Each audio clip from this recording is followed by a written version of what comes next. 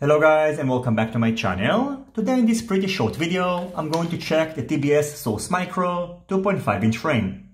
Just like the TBS Source 2 and Source 1, the Source Micro is an open source project, which means that all the project files can be found online and this frame was designed by the community. In addition, just like the Source 2 and Source 1, the Source Micro comes with a really low price tag and it costs only $11, which makes it probably one of the cheapest frames that you can currently buy. Inside the bag you can find the top and bottom plates, 8 spacers, and you're only going to need to use 4 of them and they give you the option to choose between two sizes. The length of the shorter one is 20 millimeters and the length of the longer one is 25 millimeters. In addition, you're also getting 8 M2 screws and this 3D printed TPU part, which will enable you to mount a TBS Tiny camera. So if you're going to opt in to mount a different camera than the TBS Tiny, you will need to think of a different solution because currently this is the only file which is available on Thingiverse. So what I recommend to do if you want to mount a nano camera, for example, is to use these 3D printed adapters, which you can either print or buy them online.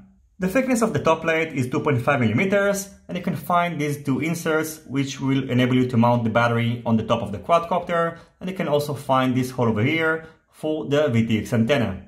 The thickness of the bottom plate is 2.5 millimeters as well and you can find both 16 by 16 and 20 by 20 mounting holes for mounting your stack.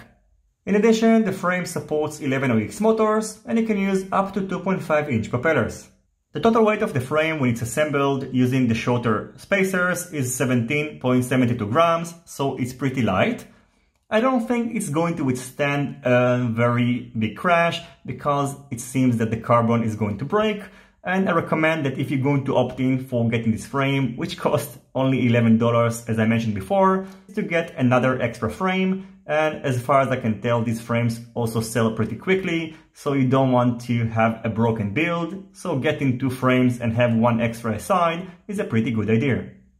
The distance between the spacers is 17.8 millimeters, and you can fit up to micro-sized f3 cameras inside, but I think it's probably going to be a better idea to opt in for using a nano-sized camera or to go with the TBS tiny camera, and then you can simply use the included adapter.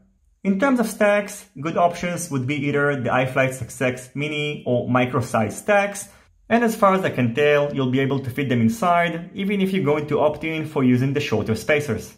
So overall, priced at $11, you are getting a pretty good value for your money, and I actually doubt that TBS are even making any profit when they're selling this frame. Of course, it's not the perfect one, and you're also going to have a little bit hard time if you're going to use a different camera than the TBS Tiny, but if you want to keep your costs low, I think that this frame will be a pretty good option.